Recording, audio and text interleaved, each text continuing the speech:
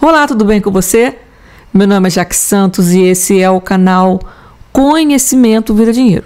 Agora eu vou mostrar para vocês como fazer o cadastro aqui na Upseller. Vou clicar aqui em Cadastre-se grátis, tem que digitar aqui meu endereço de e-mail e agora eu vou clicar aqui em enviar código para que ele seja enviado para esse e-mail. Vou inserir o código aqui, vou inserir uma senha, em seguida está pedindo para inserir o telefone e em seguida vou clicar em cadastre-se grátis. Bem-vindo ao guia de assistente do Upseller. Olá, por favor, complete suas configurações. País: Brasil, moeda real, fuso horário de Brasília e idioma português. Por favor, escolha cuidadosamente a moeda e o fuso horário, apenas para fins de estatística e não pode ser alterado depois. Ok, vou confirmar.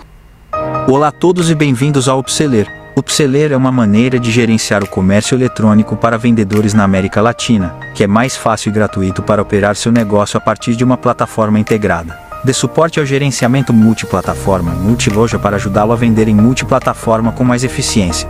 Desde 2014, estamos equipados com mais de 800 mil vendedores de comércio eletrônico e nossa experiência na área de ERP. O se conecta com SUPEI B2W e nos conectaremos com mais plataformas no futuro.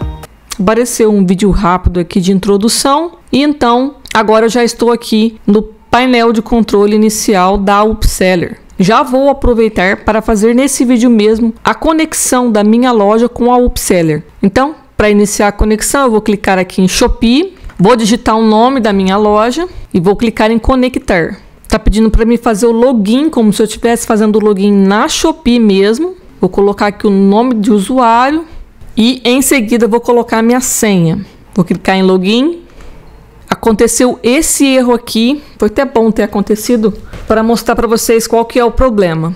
Esse SG aqui é o país. Eu não tinha me atentado a esse detalhe. Você tem que vir aqui e escolher Brasil. Vou tentar fazer o login de novo. Agora deu certo. Foi enviado para mim o código de verificação. Chegou para mim através de uma mensagem no celular. Eu vou digitar aqui e clicar em verificar. E agora que nessa janela está pedindo autorização para integrar a minha loja na Shopee com o ERP da Upseller. Você clica aqui para confirmar a autorização e pronto. Agora a minha loja já está conectada com a Upseller. Eu vou clicar aqui em configurações para ver o que aparece, só aparece o nome da loja, então não é preciso fazer mais nada. Como vocês podem ver aqui, consta também aqui do Mercado Livre da B2W. Então, no próximo vídeo eu vou mostrar para vocês a funcionalidade que eu julgo mais interessante neste ERP, que é o impulsionamento dos anúncios automaticamente. Espero que essa informação tenha sido útil para você. Qualquer dúvida,